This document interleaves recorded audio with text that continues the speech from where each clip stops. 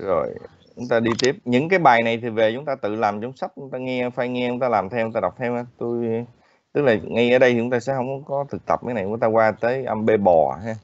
B bò thì cấu trúc âm b bò thì nó như vậy. Nó sẽ có hai dạng đây. B bò thì chúng ta sẽ ngậm chặt nhưng mà không có chặt tới mức mà nó đen như cái cái cái tức là chúng ta so sánh giữa hai cái cách phát âm này. Tôi sẽ phát âm cái này lại. Phát lại. Hai cái hai cái kế bên nhau nè. Thì cái bê bò là cái trên bê phở, cái dưới nè. Thì nó khác nhau chỗ cái vành môi nè. Cái môi ngậm chặt là hình hai đó, hình hai đó, hình dưới nè. Thì cái môi ngậm chặt này chính là bê phở, còn không ngậm chặt là bê bò, tức là cũng ngậm lại bật ra. Ngậm ngậm, nhưng mà chỉ khép lại thôi rồi, rồi bật ra khép lại rồi nói tức là baby baby. Thì tờ giấy tờ giấy mình để thì nó sẽ không rung. Baby baby thì nó không rung. Nó đơn giản như thôi không có không, không, không phức tạp còn nếu mà, mà pin thì nó ngay lập tức giống như là pin. Baby baby là tờ giấy nó không giống nhích miếng nào cả. Mọi người thấy ổn không ạ? À, đây còn mấy người vào. Vẫn có bạn đang vào rồi, xong. Thì à, thì bây giờ mọi người à, mọi người tưởng tượng ha thì cái âm chúng ta, âm chúng ta đây, chúng ta sẽ phát nào phát âm thử hai cái sự khác nhau giữa âm b phở b bọ ha yeah. pin xin tị do mọi người vào từ từ mỗi lần vào thì tôi phải bấm vào ha. Ờ, rồi. Có thời gian ha. Rồi. Rồi, bây giờ ha. Pin bean pain, ben pear bear cap cap cap cap cap pup bắp uh, à, pup pup rồi bắp rồi puppy puppy. tức là chúng ta sẽ à, đọc từng cái từ này từ này và thấy sự phân biệt giữa hai cái từ hai cái âm này khác nhau để mình cho nhỏ lại để mình copy mình dán cho mọi người đây nội dung học, học hôm nay. Trong sách chúng ta à, ai có sách thì có thể xem những sách cũng được ha. Rồi. Rồi bây giờ mọi người tự đọc thử ha.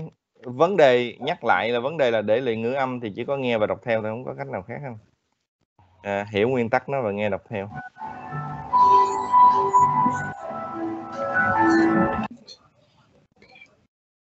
rồi. Mình mình ờ, tắt microphone của mọi người để để nó đỡ ồn rồi giờ mọi người cứ nghe theo. Rồi, để mình lower cái này xuống cái. Rồi, xong ha. Rồi, bắt đầu mọi người tự tập đọc thôi.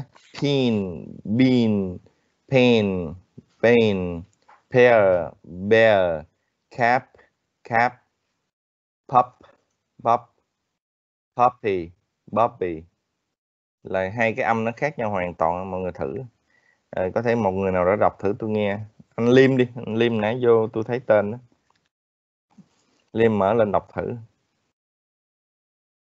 Có Liêm đây không? Không có Liêm hả? Có có có. À, mời mời đọc thử. Đọc thử thì tôi nghe. Nghe tôi biết. Dạ, dạ. em mở thấy hình không đây? Thấy hình đây hình đây rồi pin. Pin. Pen. Tại rồi pen phía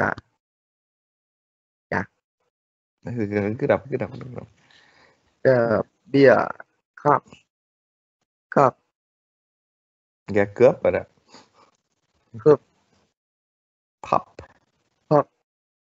pop pop poppy Pop. baby um, sai cả phần nữa ha. Rồi. Ừ, mời người khác thử ha. Mọi người về tập đọc theo mới được cứ không đọc theo là không ổn đâu. À, cẩm hường đi có cẩm hường đây không? Rồi xin mời. Pin pin pen ben chưa chưa xin chưa chưa chưa chưa chưa. Đã lộn âm b phở qua âm f rồi. Ngậm môi tức là ngậm môi chặt chặt lại ngậm môi chặt lại pin pin tờ giấy nó phải nhúc nhích pin pin nhúc nhích tờ giấy mới được. Pin bin pen ben pear beer cup cup pop bắp puppy puppy. Đúng có chữ puppy thôi đó. Ờ, chữ Hai chữ b phở.